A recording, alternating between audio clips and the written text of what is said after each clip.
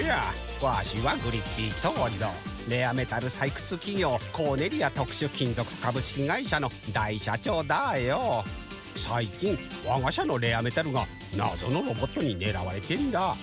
君の仕事はこのプロテカムっちゅうレーザー付き監視カメラでわしの採掘基地を守ることだよ。そいじゃ頑張ってくれな。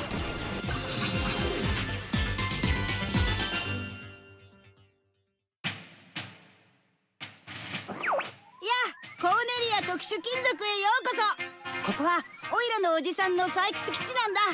ここの防衛システムはオイラが作ったんだよ。さすがはメーカーエンジニアじゃな。本当にそのシステムで基地を守れんのか？いやいやこのシステムはなかなかのもんだぞ。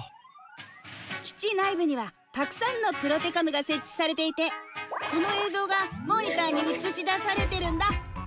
侵入してくるロボを発見したらカメラを切り替えてレーザーで攻撃。基地の心臓部であるコントロールタワーを守り抜くんだ。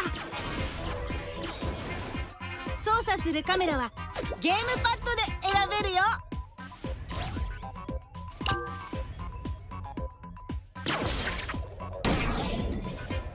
敵のロボにはタワーを狙うアタックタイプと防衛を邪魔するジャマータイプの2種類がある。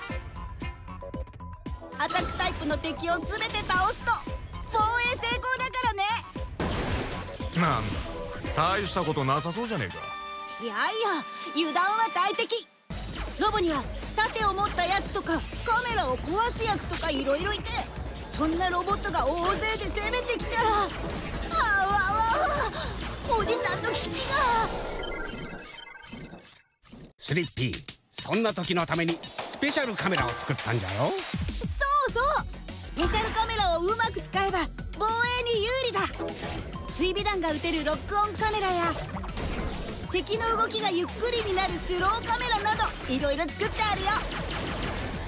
配置できるカメラの台数には制限があるからどこにどんなカメラを置くか頭の使いどころじゃな。防衛に失敗してしまったらタイムラインやリプレイを見るといい。どの敵にやられたか確認して再チャレンジじゃ。待ち受けるミッションはなんと100個こ。んなボスも出てくるみたいだがスリッピー大丈夫か？だ大丈夫大丈夫。ゲームを進めていくと基地に攻め込むユニットを自分で作れるようになるよ。ロボの種類や出現するタイミング侵入ルートを自分で設定できるんだ。作ったユニットをインターネットでアップロードすれば世界中の人たちに遊んでもらうことができるよ。もちろん世界中の人たちが作ったユニットもダウンロードして遊ぶことができるんだうわこんなロボの大群守りきれるかな？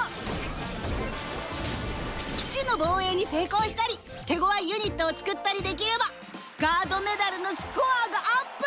世界中のライバルと競い合おう。ちょっと俺にもやらせてみろよ。じゃあオイラが作ったユニット試してみてよ。ほうお手並み拝見といくか。ファルコ無理すんなよ。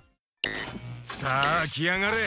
エースパイロットの腕前見せてやるぜファルコ12番じゃ。分かってる。ちょろいぜ。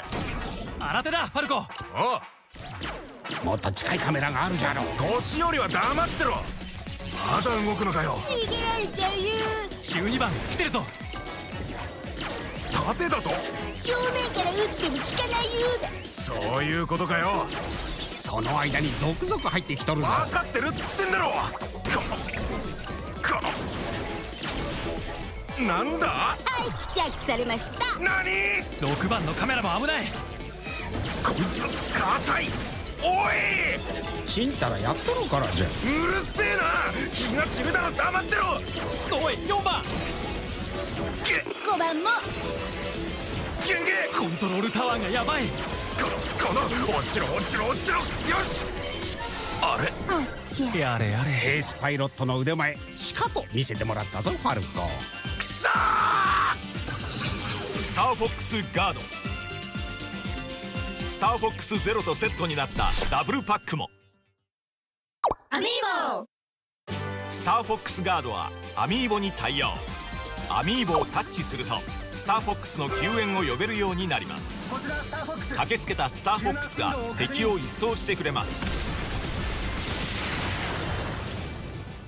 アミーボ